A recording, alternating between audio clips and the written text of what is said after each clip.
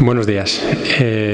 Bueno, la pretemporada está siendo exigente, está siendo buena porque no hay apenas lesionados, no hay gente que, que esté tocada, salvo bueno, pues alguna cosita, algún detalle pequeño, pero sin importancia. Pero bien, llevamos poco tiempo juntos, nos vamos conociendo poco a poco y, y nada, vamos eh, mejorando y avanzando según lo previsto. Sí, no, no, hombre, yo eh, hacía tiempo que no estaba con, con, el entrenador y lo conozco perfectamente y sé cómo es, sé cómo, cómo trabaja, su forma de trabajar, su forma de entrenar y, y, la verdad que él es muy exigente.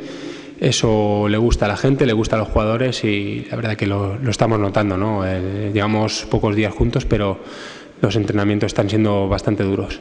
Bueno, principalmente cuando yo tomé la decisión de no seguir en, en Elche, eh, mi objetivo era el día a día, ¿no? el trabajar el día a día, el, el, que sea un equipo estable, un club estable, el que se pueda trabajar a gusto, cosa que, bueno, pues como sabéis, en Elche últimamente no ha podido suceder así. Eh, surgió la posibilidad de Alavés, eh, tuve algunas propuestas más y, y, bueno, y también el que el entrenador haya confiado en mí también es algo que, que ha ayudado a que venga, ¿no? O sea que digamos que es una suma de de cosas que han hecho que al final me decida por, por, el, por el Deportivo Alavés. No, bueno, eh, yo vengo como uno más, no vengo como eh, un jugador, aunque haya venido de primera ahora mismo, pues bueno, eh, vengo como uno más a sumar, eh, vengo a, aportar mi granito de arena, mi experiencia, eh, mis ganas de trabajar, mi ilusión, me considero uno más y desde el momento, pues bueno, en la plantilla estoy estoy encantado porque me han recibido muy bien los compañeros que estaban antiguamente y los que, y los que han venido este año. Y bueno, mi rol en, en, el, en el, equipo, pues bueno, pues eh, aportar un poco todos mis conocimientos, ¿no? Todo mi, toda mi experiencia y, y, mis, y mis ganas de trabajar. Sí, bueno, el año pasado fue un año complicado, ¿no? A nivel colectivo, a nivel individual, eh, creo que por circunstancias no tuve los, los minutos o los partidos que yo eh, querría tener, pero bueno, pues eh, con ganas siempre, siempre, siempre tengo ganas de jugar. Eh, por suerte he sido un jugador que siempre, eh, todo, prácticamente todas las temporadas he tenido protagonismo en el equipo y, y bueno, y, y, vengo pues bueno, con muchas ganas, con muchas ganas de, estar en el campo y de ganarme un puesto en, en el 11. Bueno, eh, yo creo que los cuatro que estamos somos eh, muy competitivos, va a ser un puesto muy reñido, creo que el míster ahí va a tener eh, que rascarse un poco la cabeza para poner a dos jugadores y eso es bueno para el equipo. Al final eh, lo que cuenta es que el colectivo salga ganando, que el equipo salga beneficiado por esa competitividad individual y yo estoy encantado, desde luego, los tres compañeros que están en la misma posición, pues eh, la verdad que tienen un nivel importante, entonces pues, bueno, va a ser complicado jugar, pero eso es bueno para el equipo.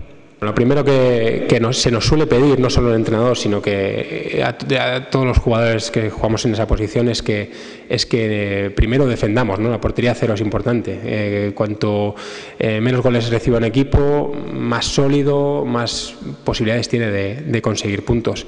Eso es lo que nos pide el entrenador, ¿no? que seamos contundentes, que seamos sólidos y luego a partir de ahí ya trabajar en lo que, en lo que se tenga, de trabajar, pero sobre todo en solidez defensiva. Bueno, objetivos de, de momento eh, de resultado creo que es un error, sino hay que, hay que mm, ponerse, hay que proponerse objetivos de realización, ¿no? El, ¿qué, ¿qué, hay que hacer? Qué, es, ¿Qué son las cosas que hay que hacer o mejorar para al final conseguir resultados positivos. Al final un resultado eh, depende mucho de una actuación eh, del árbitro, un error individual, un día malo, mala suerte, pero lo que está claro que nuestros objetivos es el trabajo, la competitividad, el día a día, el estar todos los días eh, al 100%, mucha atención. Y luego, pues bueno, la segunda división la veo como, como prácticamente todos los años, una categoría muy igualada, donde los 22 equipos, bueno, prácticamente 21 porque hay un filial, eh, van a querer estar arriba para ascender, ascender, de categoría, si no jugar el playoff. Por lo tanto, bueno, pues eh, es una categoría engañosa, ¿no? Porque muchos equipos que planifican la temporada para estar arriba eh, se encuentran con la sorpresa negativa de que pueden estar peleando por, por salir de los puestos de abajo.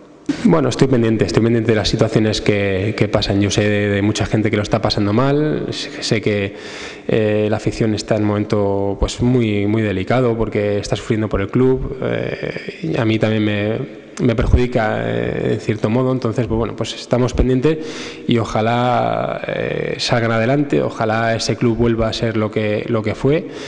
Va a costar porque esta, este descenso de categoría y sobre todo pues lo que viene ahora es, es muy duro, pero bueno, yo pues desde aquí le, mando un fuerte abrazo y mucho ánimo a la afición del Elche que espero que en pocos años esté donde se merece.